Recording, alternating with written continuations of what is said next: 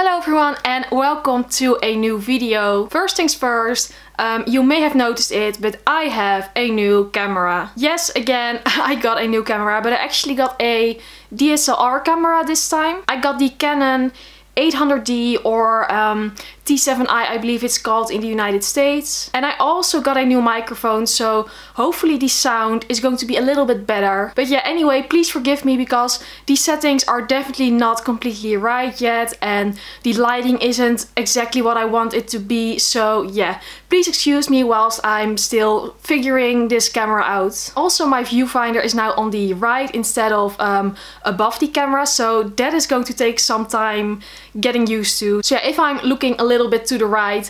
Um, yeah, please forgive me because I'm so not used to this. Um, but anyway, I'm so happy with this new camera and I cannot wait to make better uh, videos with better quality. And yeah, I'm going to see how this works and yeah, I'm just so excited and I hope you'll love it too. But yeah, then to the actual video that I'm going to do today. Today I'm going to do the last book haul of 2018. I cannot believe we're here already, but yeah, this is definitely the last book haul of this year. And yeah, it makes me a bit sad but also excited for the new year. So these are basically the books that I bought in October, November and December. I haven't done a book haul in a little while because I haven't bought a lot of books for a while. So yeah, now I have sort of like a um, collective book haul. And yeah I'm going to show you the last books that I bought in 2018. Also I didn't really ask for a lot of books this Christmas. Like I asked for a lot of other things. So yeah there probably won't be like a Christmas book haul. But yeah that means that these will be the last books of the year. And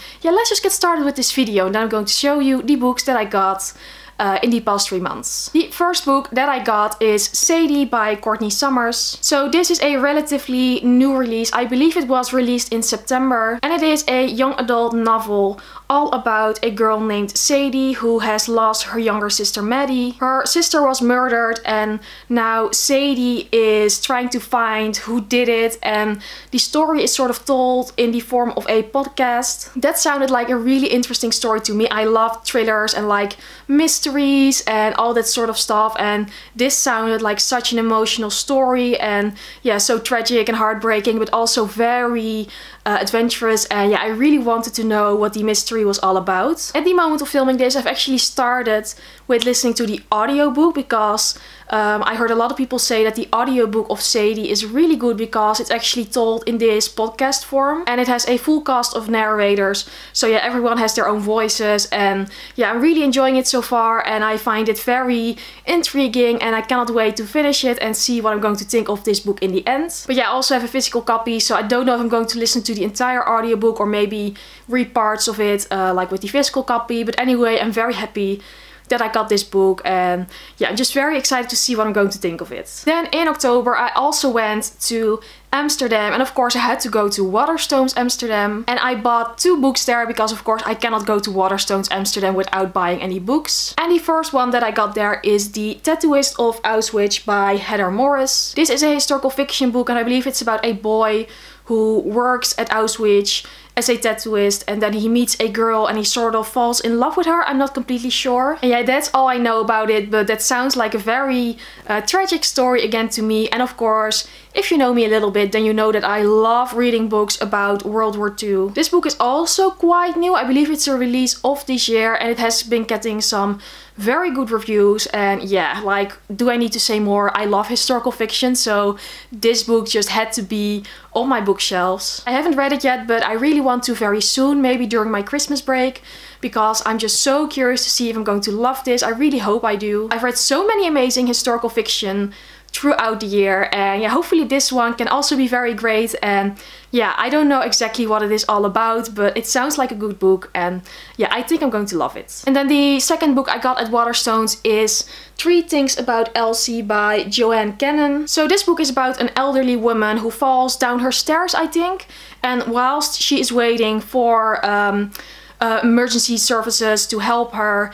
Uh, she sort of thinks about her life and then she tells her life story, I believe. I'm not exactly sure. I don't know like a lot about this book, but I had seen it before and the story sounds interesting. Somehow it sort of reminds me of Eleanor Oliphant is completely fine, even though it's a completely different story. But the synopsis gave me the same sort of feeling and yeah, I don't know, I'm just really into these sort of um, contemporary, uh, I think novels, I don't know what to call them, like what is the exact genre. And I just love sort of like these personal stories about people and yeah, I don't know what else to say. It just sounded like a very fun book, or maybe not fun, but a very good book. And also these two books, of course, had the uh, buy one, get the second one half price action that Waterstones always has. So yeah, that's also a reason why I chose this one. But yeah, very happy with this as well. Again, something I want to read soon. It's basically the same story with all of these books all the time. But again, I hope it's a good one and I guess uh, I'll have to see. Then next, I also got a book that was one of my most anticipated releases of the year and it is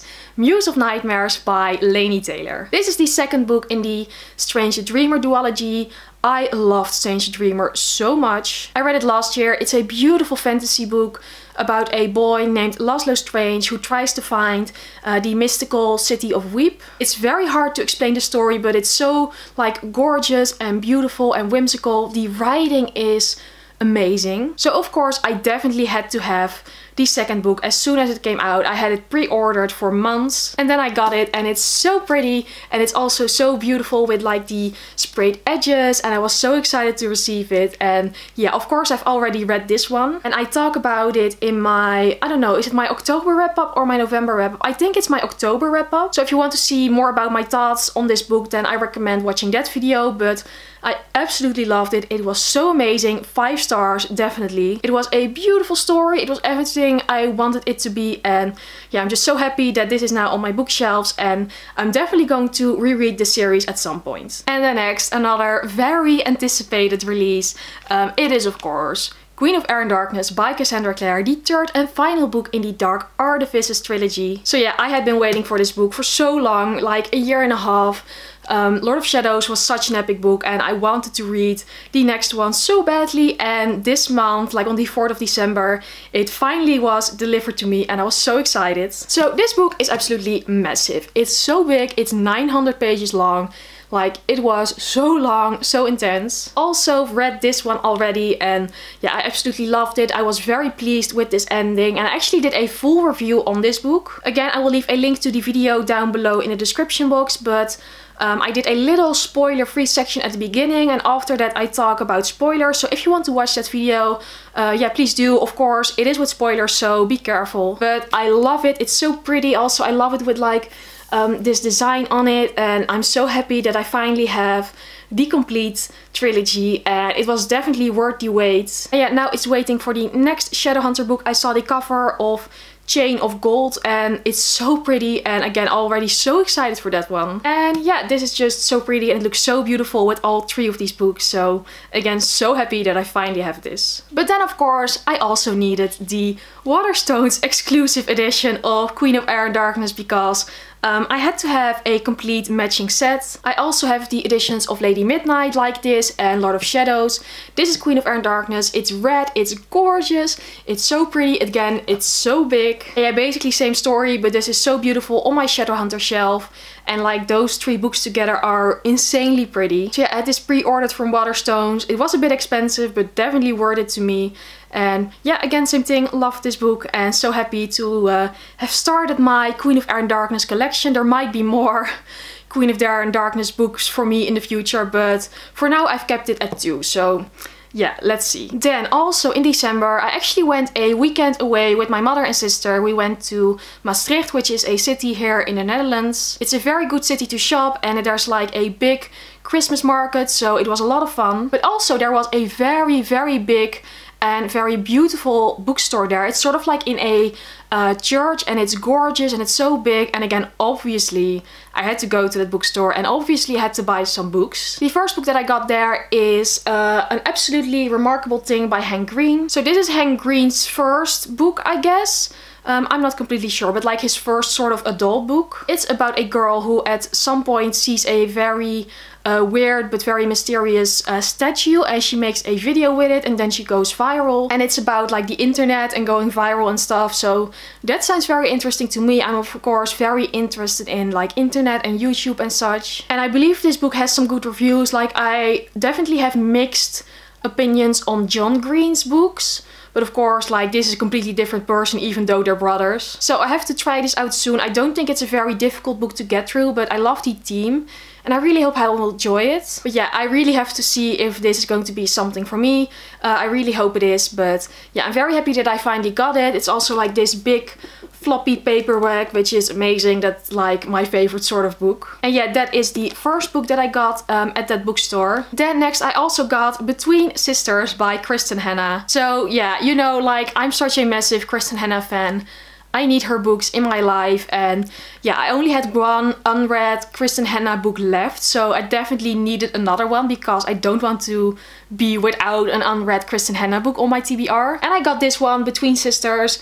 Like honestly I don't know much about the story. I only know that it's about two estranged sisters who sort of reconnect later on. That's all I know but it sounds like a very Kristin Hannah-ish story and it's probably going to be beautiful but also tragic, heartbreaking, everything. And yeah, that's all I can say about it. I love Kristin Hannah, I love her books and I need to read one every once in a while. And then the final book of this book haul and also the final book that I'm going to haul in 2018 is How to Stop Time by Matt Haig. So this book is about a man named Tom Hazard and uh, Tom is immortal I believe. He has been alive for a very long time. He looks like he's about 40 uh, but he doesn't age and he doesn't die. So yeah that's premise enough for like a very interesting book and that immediately caught my attention. I've never read any books by Matt Haig before but I know he's a very good writer and a very popular writer and I had seen this book a couple of times in bookstores but this time I decided to actually get it. It's not a very big book and again I think it's going to be a very interesting one. I just sort of love interesting and original stories and yeah, if you have read it, please let me know if it's any good. I really hope it is. And it's also again something I want to read soon. I say that with a lot of books, but my Christmas break is now here, so I can read a lot more. And yeah, let's see how many books I'm actually going to manage. So yeah, this is it for my last book haul of the year. Whoa, this year has gone by so fast. It's like the biggest cliche ever, but it's always true. And yeah, I really hope you enjoyed this final book haul of the year. And yeah, please let me know uh, which book I should read first. And then this was it now for this video. And if you like this video, please go subscribe or maybe give it a thumbs up. I would really appreciate that. And hopefully I will see you again very soon in my next video. Bye!